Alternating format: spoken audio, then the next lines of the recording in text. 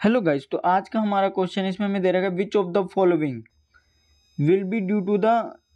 total internal reflection तो guys आप जानते हैं कि जो propagation of light and optical fibre में वो भी टोटल इंटरनल रिफ्लेक्शन होता है मतलब इसमें भी टोटल इंटरनल रिफ्लेक्शन होता है, तभी हमारी जो लाइट रे है, वो ऑप्टिकल फाइबर में ट्रेवल करती है। आप मिराज में भी जानते हैं कि हमारा टोटल इंटरनल रिफ्लेक्शन होता है, तभी हमें जो मिराज दिखता है रेगिस्तान में और ब्रिलियंस ऑफ़ डायमंड इसमें भी टोटल इंटरनल रिफ्लेक्शन होता है, तभी तो हमारा जो डायमंड है वो चमकता है। तो इस हिसाब से हमारे तीनों ऑप्शन सही हैं तो हमारा इस क्वेश्चन के लिए जो ऑप्शन सही होगा ऑप्शन नंबर फोर होगा। और अगर आपको कोई डाउट है तो कमेंट सेक्शन में पूछेगा। Thank you guys